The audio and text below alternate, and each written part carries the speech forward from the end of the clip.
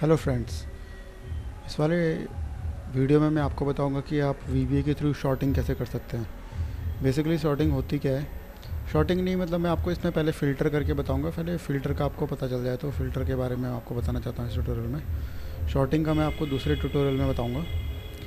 जैसे कि आपको इसमें फ़िल्टर करना है, ये मेरे मंथ्स हैं। First quarter second quarter and third quarter यहाँ पर टोटल ले लेते हैं।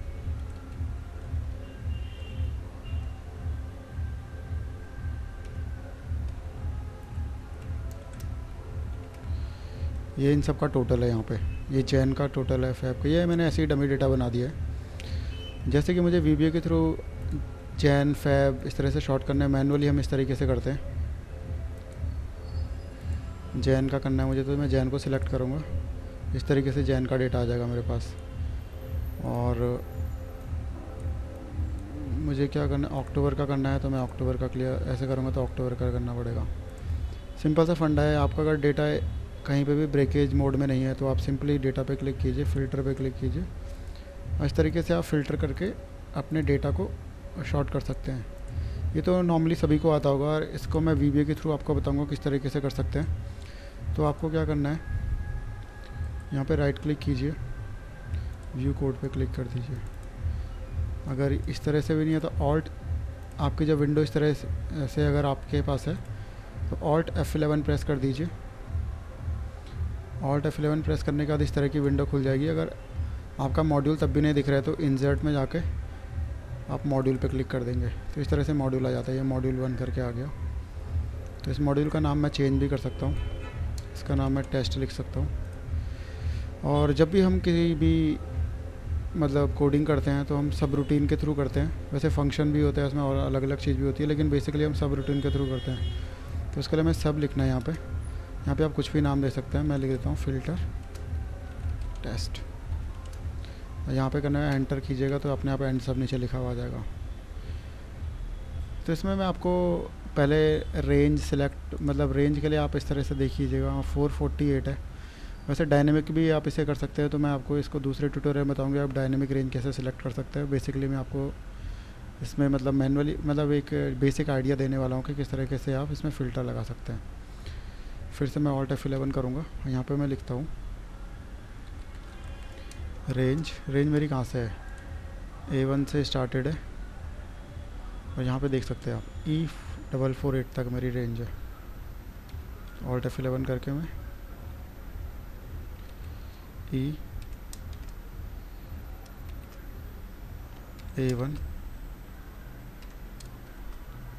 सो लेके ई डबल फोर एट तक की रेंज को सिलेक्ट कर लेता हूँ। ठीक है? इसके बाद आपको डॉट लगाना है। इसको इस तरह से ऑटोमेटिकली आप पे आ जाएँगे। आपको यहाँ पे ऑटो फ़िल्टर लिखना है। ऑटो फ़िल्टर करेंगे तो यहाँ पे लिखा हुआ आ जाएगा ऑटोमेटिकली टैप की प्रेस कर देंगे तो आप ये ऑटोमेटिकली से सिलेक्ट कर दीजिएगा। फिर आपको एक स्पेस देना है। स्पेस देने के बाद नीचे लिखा आ रहा है फ़ील्ड तो आपको फ़ील्ड देना है।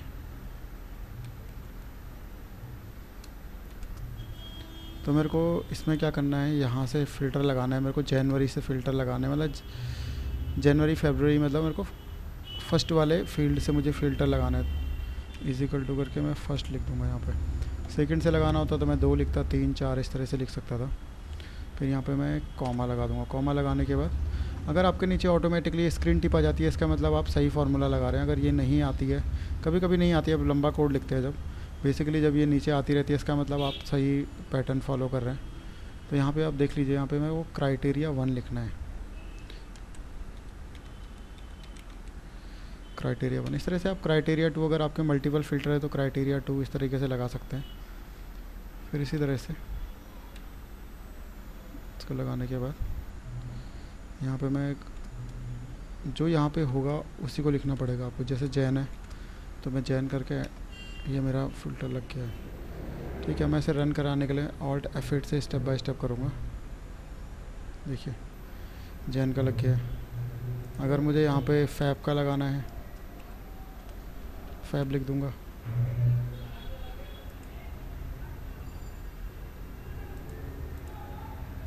देखिए फैब का आ गया।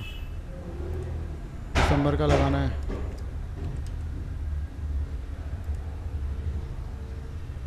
इस तरीके से दिसंबर का आ गया इस तरीके से आप फ़िल्टर लगा सकते हैं, मैं इसको हटा देता हूँ एक बार।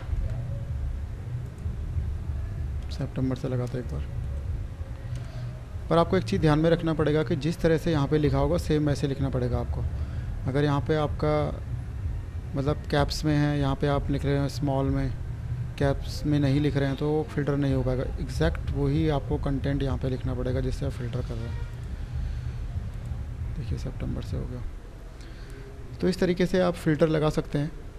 तो इसमें कोई मतलब बहुत इजी तरीके से इस तरह से आप छोटी इस तरह से मैं आपको छोटे छोटे इस तरह के कोड बताता रहूँगा अपने इस चैनल में।